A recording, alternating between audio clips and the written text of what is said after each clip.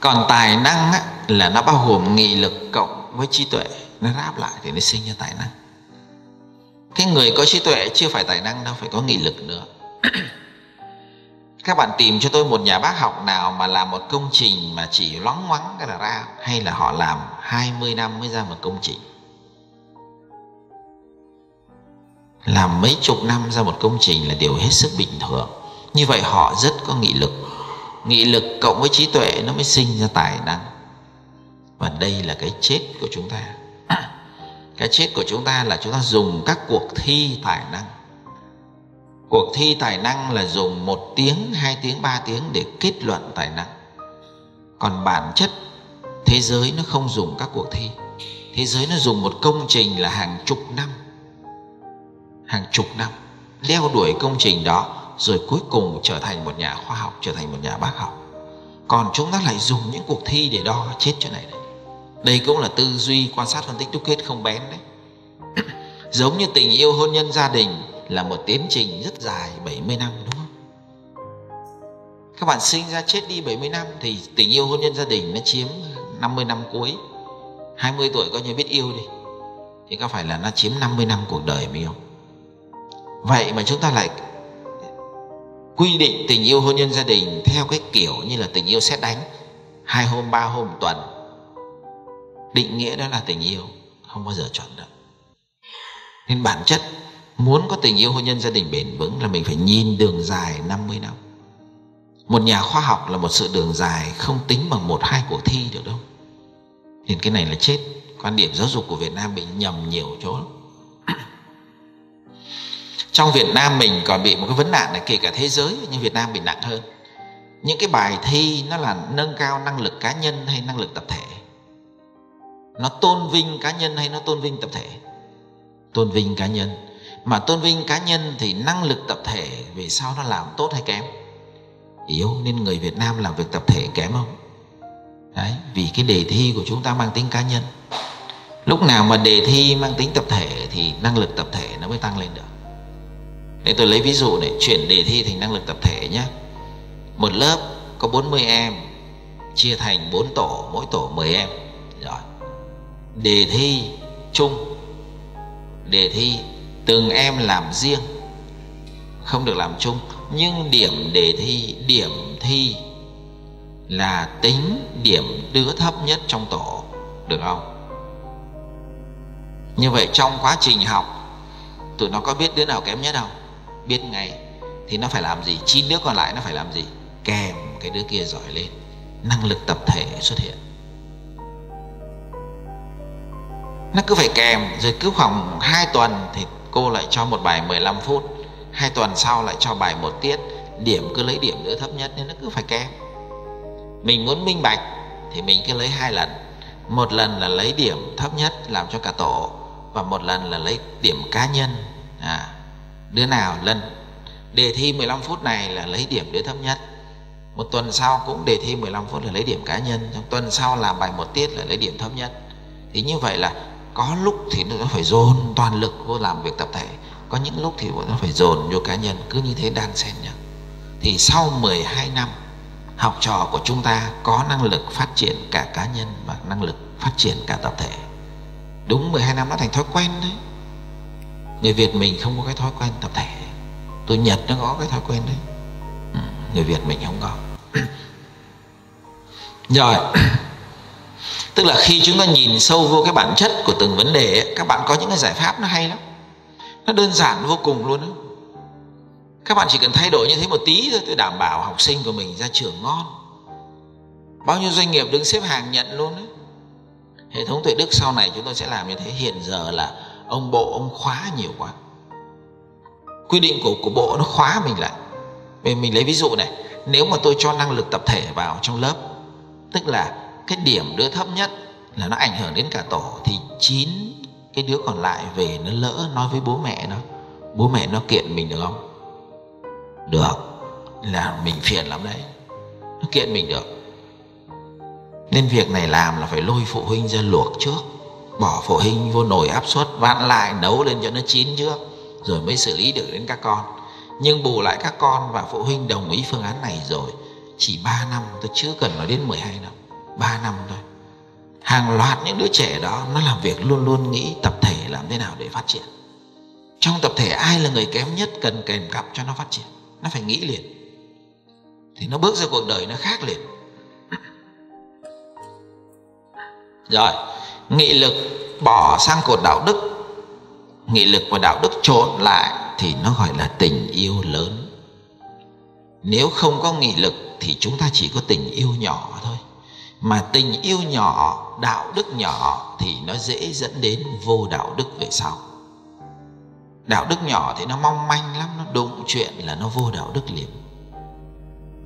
Nên đây là một trong những cái sai lầm rất lớn của cả thế giới, không phải riêng gì Việt Nam dạy trẻ đạo đức mà quên không dạy nghị nghị lực. Dạy trẻ đạo đức mà không dạy nghị lực thì đạo đức không lớn nổi. Nó cứ bé bé hoài. Trí tuệ cũng thế. Trí tuệ mà muốn trí tuệ nó lớn phải có nghị lực vào nghị lực nó bơm vô trí tuệ thì trí tuệ nó lớn ra. Những nghị lực là power đấy. Power inside đấy trí tuệ và đạo đức là hai cái nền tảng quan trọng nhất của một con người nhưng thiếu cái năng lượng bơm vào thì hai thằng kia không mọc là không lớn lên được. Đó. rồi mình hiểu thêm cái tâm tầm tài ha, dưới cái góc nhìn của giới định tuệ. À, cái này là giới này là định này tuệ này. Đây là định nghĩa nha định nghĩa thì thôi không đọc nữa. Tóm lại à, đạo đức là gì trí tuệ là gì và nghị lực là gì? Đạo đức.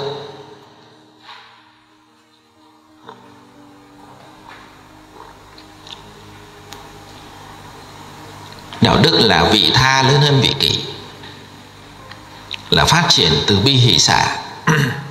Trí tuệ là hiểu rõ vấn đề và có giải pháp. Lưu ý nha cái định nghĩa trí tuệ này rất khác nha.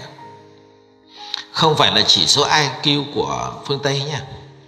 Chỉ số iq ấy, không phải nha nó gồm hai ý rất rõ này. Hiểu rõ vấn đề. Nha và có giải pháp trong thực tế. Các bạn lưu ý này, có hai ý này rất chắc nha.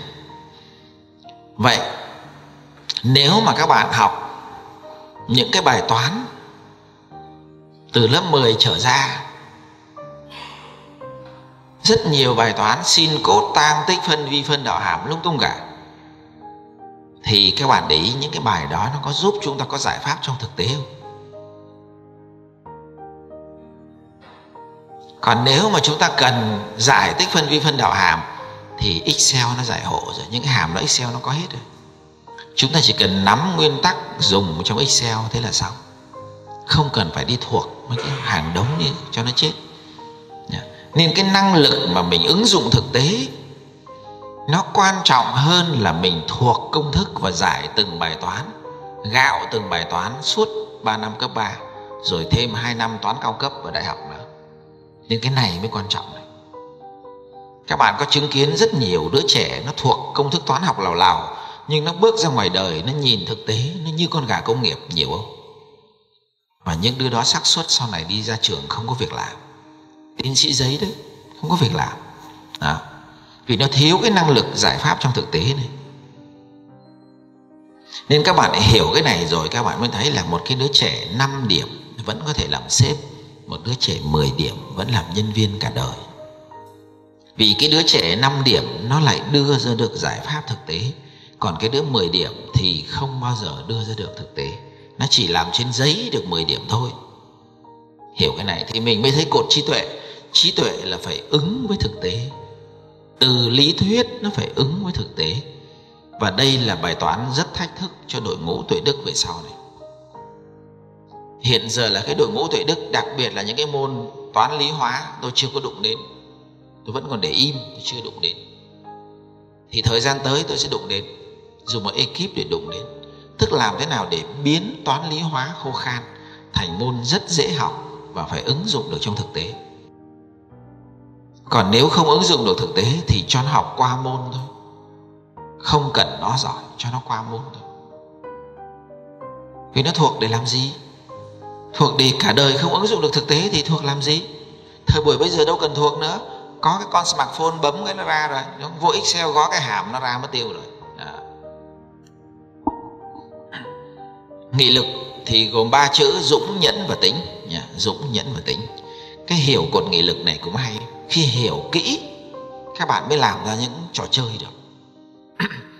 Ví dụ chữ tĩnh này. Làm thế nào để luyện chữ tĩnh cho con của mình bình tĩnh nhé?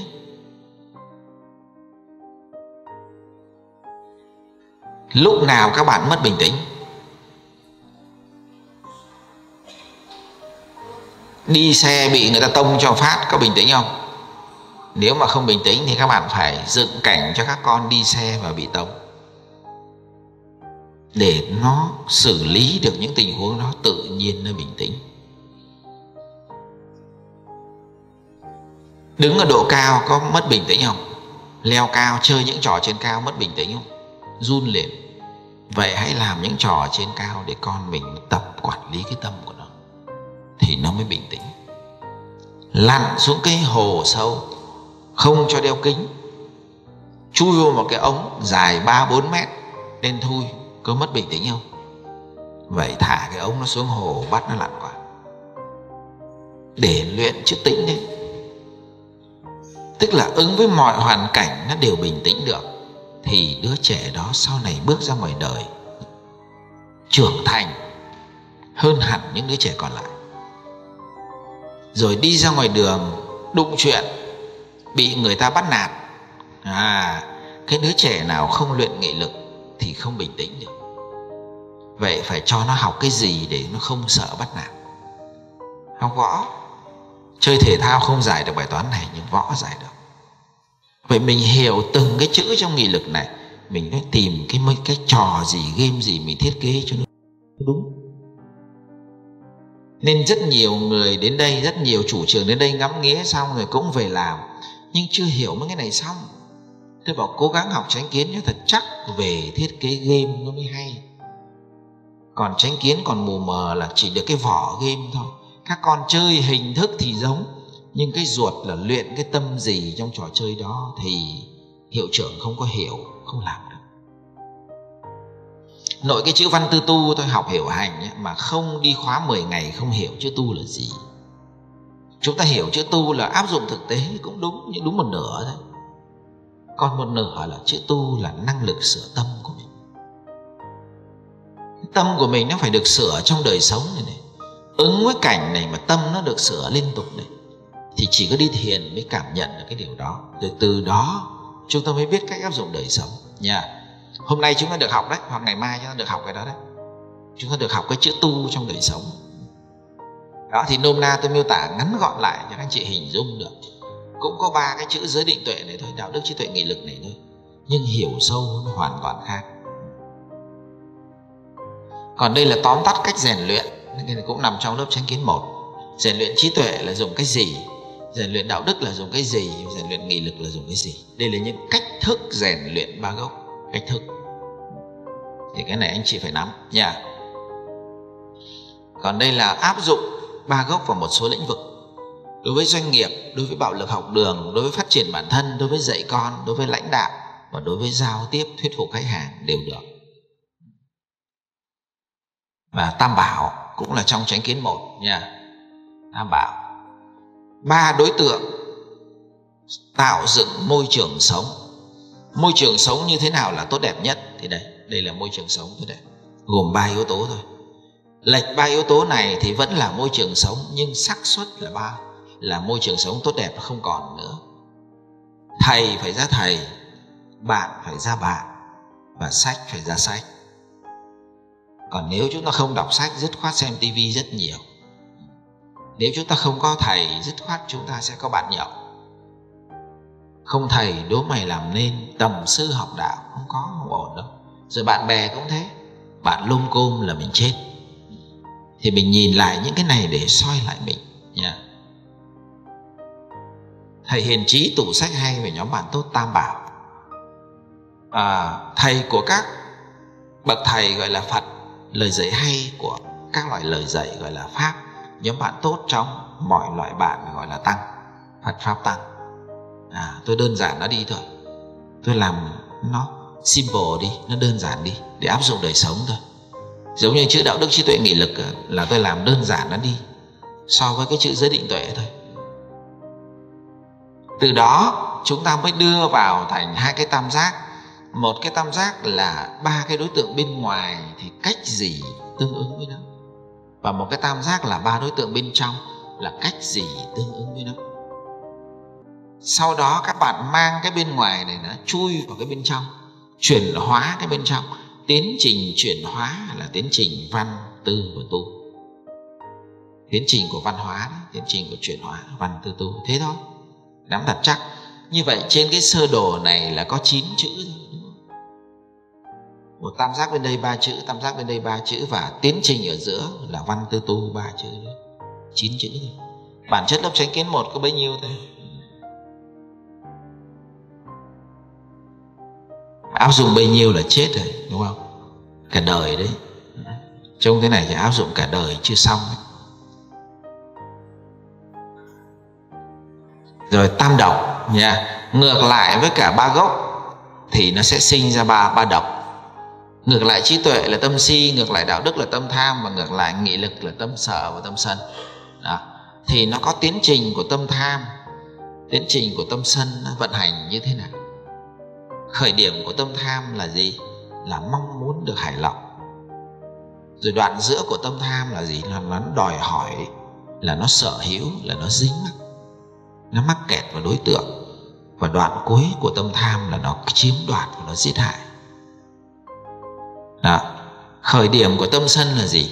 Thằng tham là muốn được hài lòng, thì thằng sân là không hài lòng, là bất như ý. Thế thôi. Vì bất như ý nên cái tâm nó chối bỏ, nó đẩy ra. Chối bỏ, đẩy ra, rồi nó đuổi đánh đối tượng, rồi nó cuối cùng nó cũng ác độc, nó giết hại đối tượng. Kết thúc nó giống tâm tham. Nhưng đoạn đầu hơi khác một tí. Thằng tham là mong muốn được đâm ra tìm cách kéo về để dính mắt thằng sân là thằng sân là không hài lòng bất như ý nên nó đẩy ra. À, nó đẩy ra nó chối bỏ đối đối đối, đối tượng vậy đó. Vậy một thằng là dính mắc một thằng là mắc kẹt một thằng là đòi hỏi và thằng còn lại là gì? Chối bỏ là phòng vệ. À, là phòng vệ là đẩy ra. À. nên các bạn để ý là khi hai vợ chồng lấy nhau thì giai đoạn đầu là giai đoạn của tham vận hành. Nên nó hay dính vào nhau nó dính mắc mà nó hút nhau. Nhưng nó lấy nhau về đến nhà rồi là bắt đầu đến giai đoạn nó đẩy ra. Tham không được nó sinh ra, nó đẩy ra. Mà khi nó đẩy ra, đặc thù nhất đẩy ra là ông chồng hay đi nhậu là giai đoạn nó đẩy ra. Tại vì nếu mà về nhà mà mình còn hút được ổng thì phải, ổng phải ở nhà chứ. Mình không hút được ổng nữa. Ổng gặp mình, mặt mình khó đăm đăm lại. Ngày xưa gặp mặt là, mặt lúc nào cũng cười hết từ khi lấy chồng về một hai năm bắt đầu có con là mặt lúc nào khó đăm đăm. Đâm ra ánh mắt là hình viên đạn nhiều. Ông về nhà, ông bị đạn bắn. Đâm ra ông phải đi quán nhậu, đúng không? Mình đẩy ông ra. Đó. ông 5 giờ ông phải đi về mà 5 giờ 15 chưa thấy về là một cú điện thoại và ba cái tin nhắn bay đến rồi. Mà tin nhắn nào cũng rất dễ thương. Đúng không? Lúc nào cũng đòi hỏi anh phải thế này thế kia là ông nhũn não, ông mệt mỏi, ông không muốn về nữa.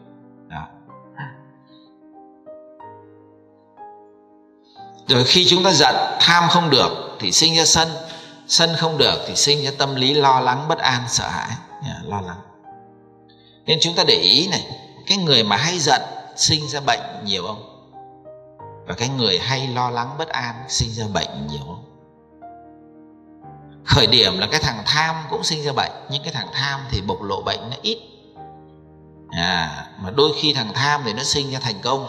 Thành công theo kiểu kiếm tiền, bất chấp thủ đoạn đó nhưng đến khi nó đảo sang sân và sang sợ rồi thì bệnh tình về thân nó bắt đầu nó trổ ra. Lục phủ ngũ tạng nó yếu dần đi. À. để ý cái này. Nên thân bệnh chính là biểu hiện của sân và sợ nó vận hành lâu để sinh ra thân bệnh. Còn tâm bệnh là tham sân si nó vận hành thì đức phật gọi đây là tâm bệnh rồi. À, mình ngu si đã là tâm bệnh rồi. Mình tham lam đã là tâm bệnh rồi. À.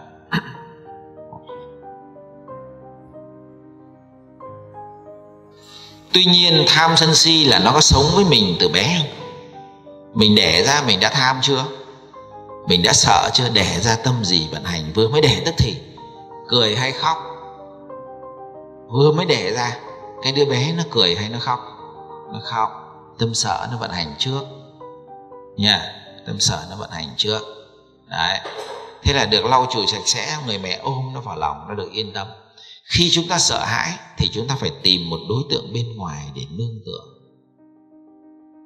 Nên người vợ mà bám vào người chồng nhiều quá, tức là nương tựa vào chồng người chồng nhiều quá là người vợ đã bị tâm gì? Tâm sợ vận hành, tham và sợ vận hành song song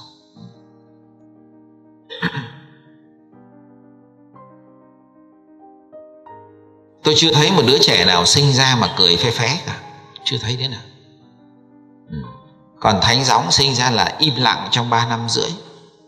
Chỉ cần im lặng thôi là thành thánh rồi. Các bạn biết im lặng là tâm gì? Im lặng là cái chữ này này chữ tĩnh này, trong cột nghị lực này. Chữ tĩnh trong cột nghị lực và cái chữ nhẫn này. Nó im lặng mà nhìn mặt nó vẫn tươi chúc mừng. Bản lĩnh hơn người đấy.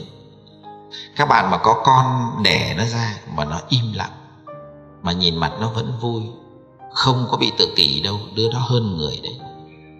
Còn một đứa mà nó im lặng mà nhìn mặt nó buồn so, đấy mới là đứa trẻ tự kỷ.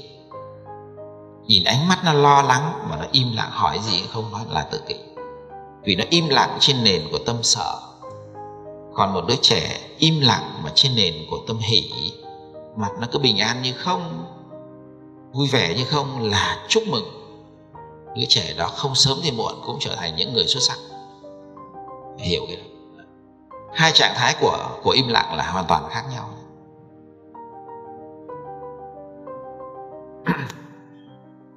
Tức là im lặng gì thì im lặng rồi cuối cùng chúng ta cũng phải đưa về ba gốc hoặc ba độc thôi.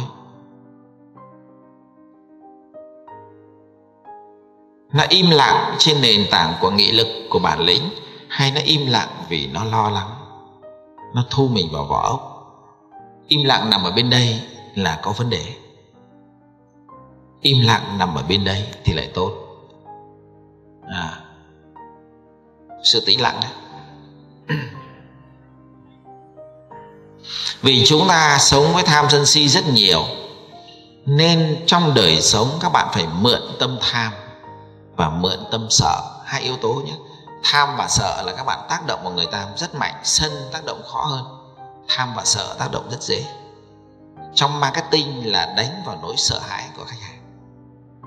Nỗi đau của khách hàng ở đâu hãy đánh vào đó đó, họ chọn tìm nỗi sợ hãi của mình đấy và khách có nhu cầu gì hãy đáp ứng cho họ là tâm tham. Nhu cầu là tâm tham thôi.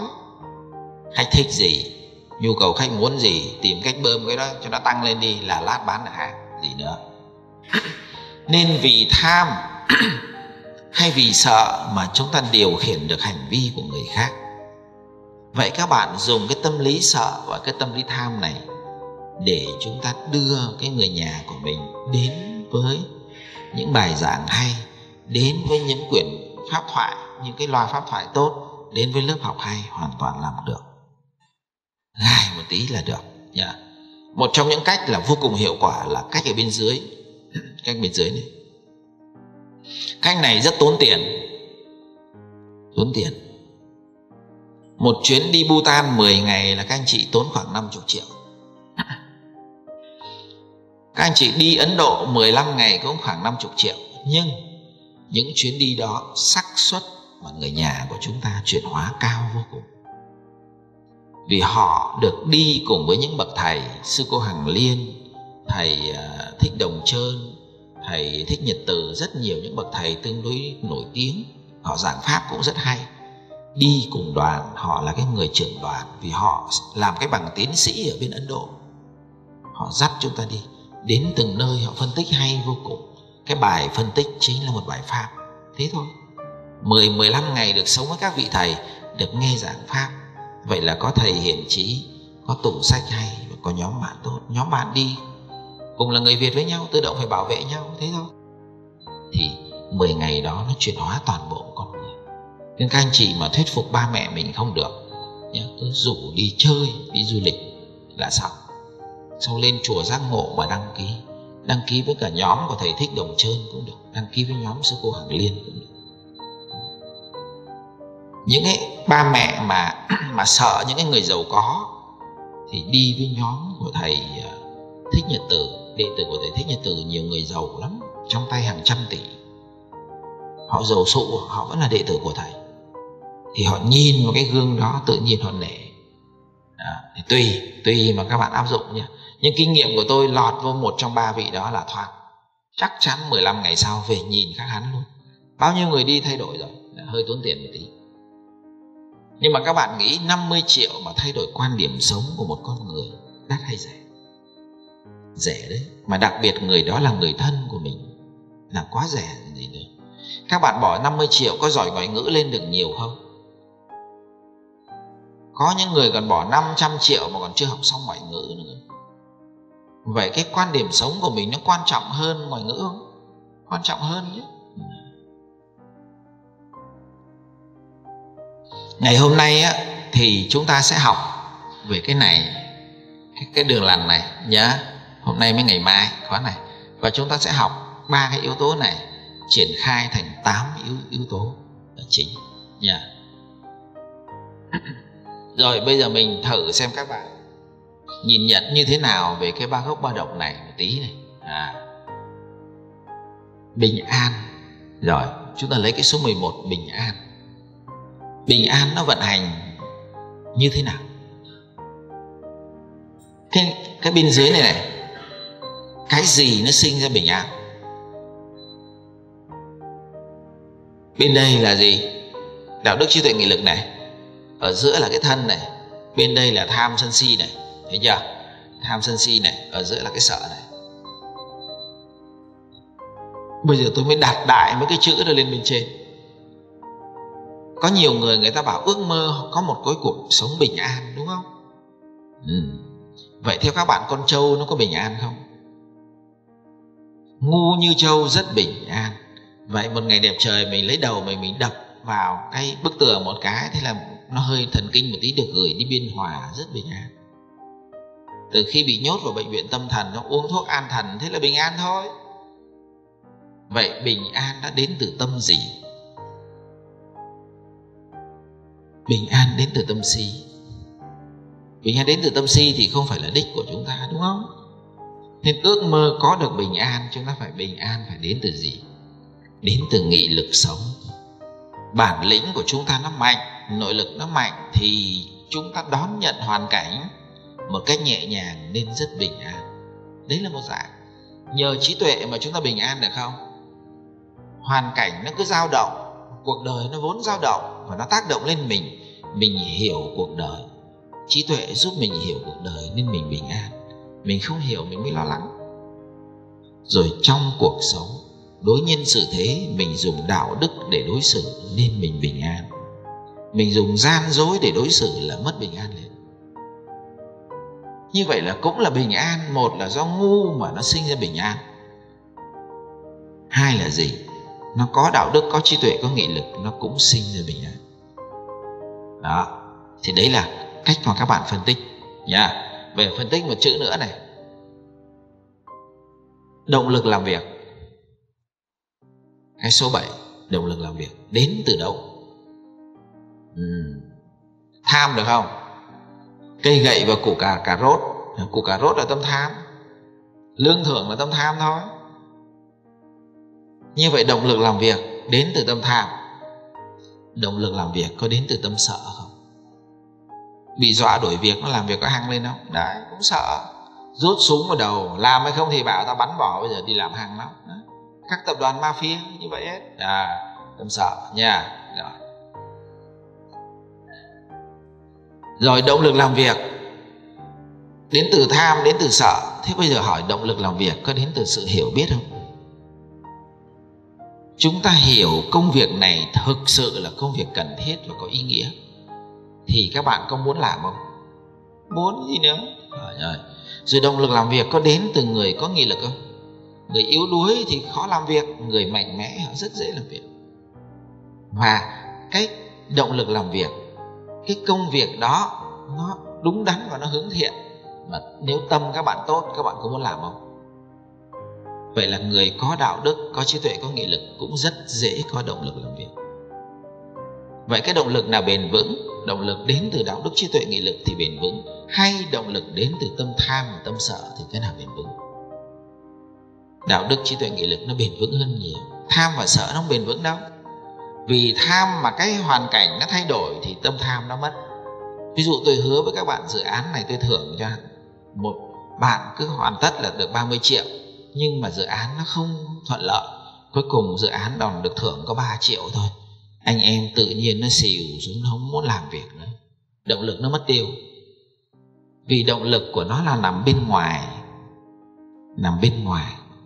30 triệu là tiền bạc nó nằm bên ngoài mình. Động lực gốc nó phải nằm bên trong mình. Nằm bên trong thì được gọi là nội lực, chứ không gọi là động lực. Nên chúng ta phải sinh ra động lực bằng nội lực, động lực tự sinh. Chứ không phải là động lực vì người người khác đặt phần thưởng mà chúng ta làm đó. còn tâm sợ cũng thế, vì người ta dọa mà mình làm. Một ngày đẹp trời, mình thấy an toàn, không ai dọa nữa, mình lại chẳng làm nữa. Đó. rồi, chữ khác biệt. Chữ khác biệt, phân tích thử chữ khác biệt. Khác biệt hay là chết? Ừ. làm kinh doanh phải có khác biệt. Khác biệt đến từ đâu?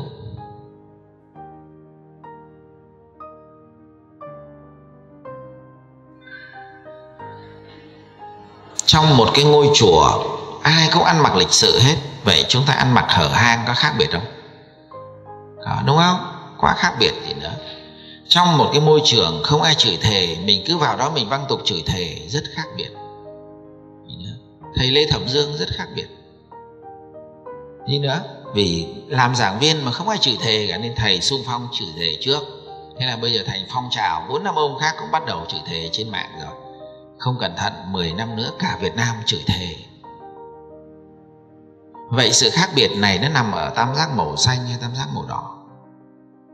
Màu đỏ nó trên nền tảng của tham sân si thôi. Vậy mình có nên theo nó không? Khác biệt mà dựa trên tham sân si bỏ. Khác biệt phải dựa trên giới định của tuệ. Thì đấy mới xứng đáng là khác biệt. Ví dụ như trường tuệ đức có khác biệt với những trường khác không? Nhưng dựa trên gì? Giới định tuệ. Chứ chúng tôi không chơi chiêu trò abc gì đó để đánh vô lòng tham của phụ huynh. Không chơi những chiêu trò này chúng tôi cũng chẳng có đánh cảm xúc của phụ huynh. Đánh cảm xúc là gì? Tổ chức một buổi hội thảo, chơi một cái game gì đó, xong cho các con viết lời cảm ơn, xong hai mẹ con ôm nhau khóc thút thít là khóc thút thít xong viết lời cảm ơn, trái tim chụp lên sướng lắm hay là đăng ký cho con học. Tức là lúc đó cảm xúc nó đang dâng lên, rồi cho đăng ký. Chứ không cần biết là trường đó thực sự dạy cái gì cái chiều sâu. Lúc đó cảm xúc nó quyết định. Bản chất là tâm tham thôi. À. còn ở đây chúng tôi lại có quan điểm rất khác. Các anh chị hãy học hai ngày tránh kiến đi. Các anh chị hãy học vài lớp dạy con đi. Hiểu triết lý của nhà trường đi rồi mới đi tìm hiểu cho nó kỹ lại, rồi gửi con vô cũng chưa muộn. Mà trường tuệ đức có phải là một cái lâu đài để chúng ta hưởng thụ không? Hay nó là những viên gạch chúng ta cùng xây? Cái nào đúng? Quan điểm nào đúng? Trường tuệ đức là một cái gì đó có sẵn để chúng ta gửi con vào hưởng thụ. Hay khi chúng ta bước vào, chúng ta là một viên gạch cùng xây? Cái quan điểm nào thì bền vững hơn?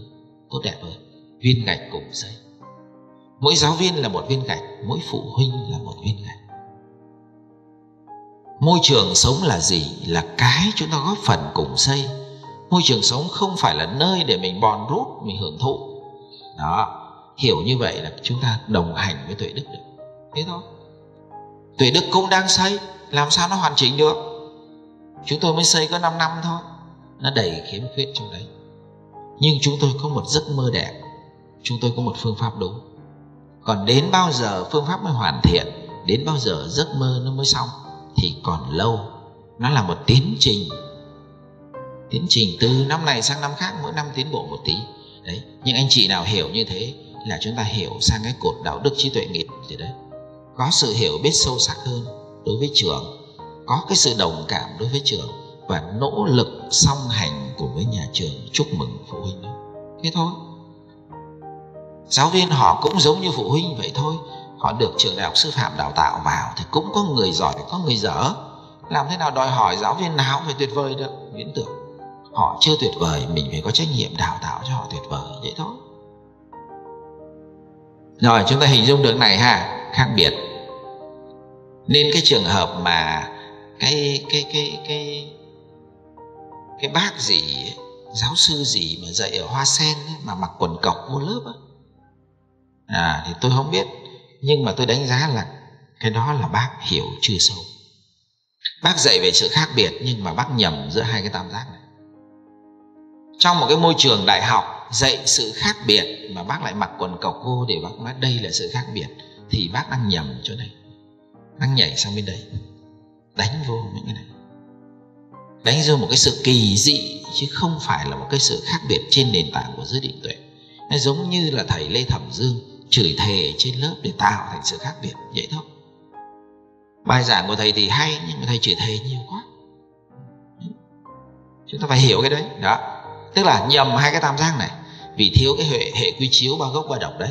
Thiếu hệ quy chiếu là chúng ta đi giữa cuộc đời nó cứ mông lung, rất giỏi nhưng rất mông lung.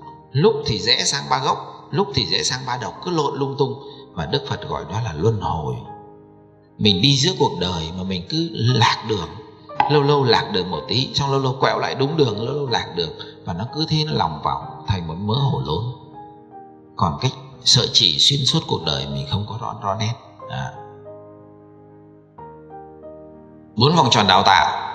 Thôi, cái này khỏi nói nha. Các anh chị nắm rồi nha, không cần nói. Cái lõi nó là nhân cách này. Đạo đức trí tuệ nghị lực này. Vòng tròn số 2 từ từ tính sao vòng tròn này là xu hướng tính cách nghiệp nghiệp hiểu cái nghiệp của mình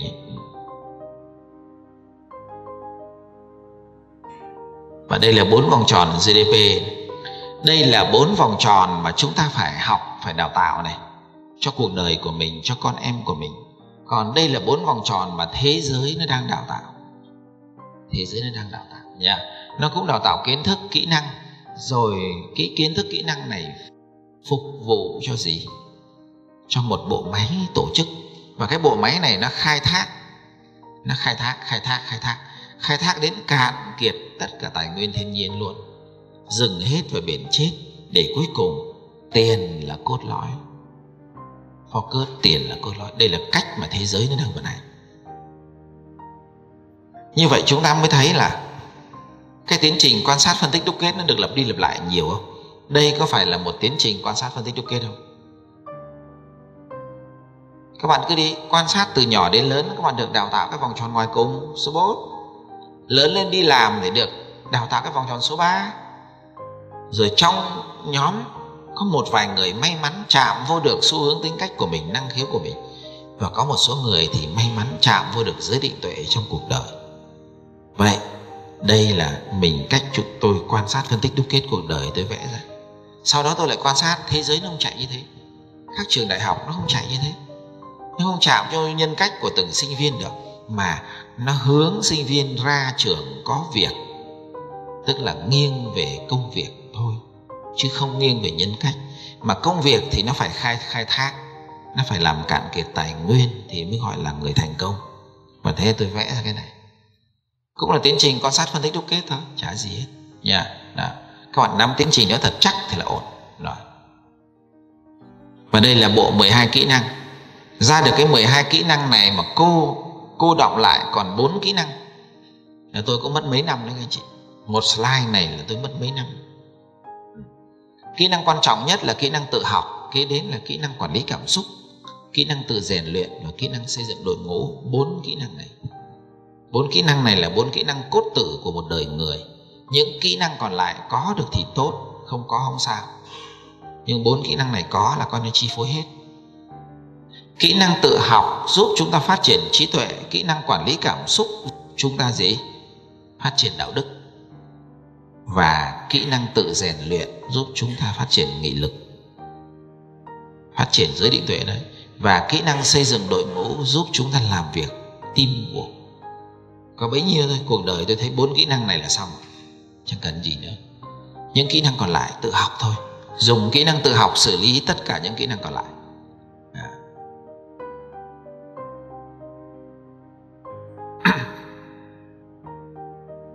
Đây là một cái bức tranh nổi tiếng từ một cái câu nói của ông Einstein. À, xã hội loài người bây giờ trong cái nền giáo dục nó nhầm lẫn ghê lắm nó bắt con cá phải leo cây và nó bắt con khỉ phải biết bơi. Đề thi toán của chúng ta là cào bằng hết mọi người đều phải làm giống nhau đúng không? Đề thi văn cũng phải giống nhau hết. Thế là cào bằng thế là một ngày đẹp trời con cá nó toàn thi những cái môn ở trên cây thôi. Khổ là cái đề thi ở cái, ở cái quốc gia đó nó liên quan đến cái cây rừng nhiều. Thế là đứa nào nó sinh ra cái nghiệp của nó làm con cá thi môn gì nó cũng ngu hết nó học mấy năm trời và nó được định nghĩa nó ngu rồi bố mẹ cũng bảo nó ngu nữa. Và nó tin là nó ngu thật. Một ngày đẹp trời nó được ném xuống nước. Như cá gặp nước thì nó mới thấy nó không ngu. Đó thì nó nằm ở chỗ này này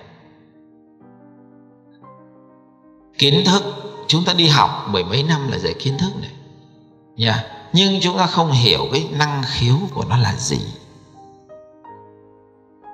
Vòng tròn số 2 vòng tròn năng khiếu là gì nên chúng ta cào bằng. Cào bằng thì con cá nó đinh ninh là nó ngu. Rồi con khỉ đến khi ném xuống nước nó cũng đinh ninh là là nó ngu. Con gì cũng bị là ngu hết. Thế là có một cái con trung gian không cái gì giỏi cả. Cái gì cũng nửa nạc nửa mỡ, leo cây cũng biết một tí, bơi cũng biết một tí, chạy cũng biết một tí, ngủ cũng biết một tí, ăn cũng biết một tí. Con đó trở thành học sinh giỏi toàn diện. À gì nữa con nó trở thành học sinh giỏi toàn toàn diện. Và mọi người lấy cái con đó làm gương. Và con đó thì không bao giờ thành nhà khoa học được. Vì nhà khoa học thì phải có cá tính đặc thù. Đúng năng khiếu mới làm nhà khoa học được. Con cá nó sẽ thành nhà khoa học ở dưới nước, con khỉ nó thành nhà khoa học ở trên cây. Thì lúc này khỉ với cá là toàn học sinh dốt hết có mỗi một cái con quái thai trung tính nhất nó được cào bằng thì thành học sinh giỏi. Thế là giết chết cả một thế hệ. Đó. nó kiện là vì thế. Đó. nhưng nhìn ở đây là mới nhìn vòng tròn số 2 thôi. Vòng tròn số 1 đâu? Vòng tròn số 1 mới quan trọng. Nha. Ông Einstein thì ông nhìn bén thì đấy. Nhưng mà về mặt đạo lý là ở vòng tròn số 1 bây giờ giả sử con cá nó được bơi dưới nước rồi con khỉ nó được leo cây rồi. Nhưng con khỉ nó leo để nó giữ cây hay nó phá cây? Con cá bơi ở dưới nước để nó giữ dòng sông hay nó phá dòng sông?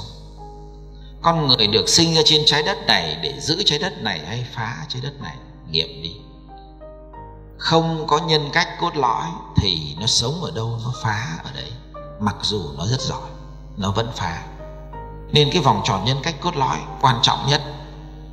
Thả anh đúng vai trò của anh, cá vai trò anh ở dưới nước, khỉ là vai trò ở anh trên cây. Nhưng vai trò vẫn là cái phụ. Cái cốt lõi nhất phải là nhân cách cốt lõi của anh được thành hình như thế nào. Thì thế giới nó quên nó quên. Đó, nó quên cái chỗ này.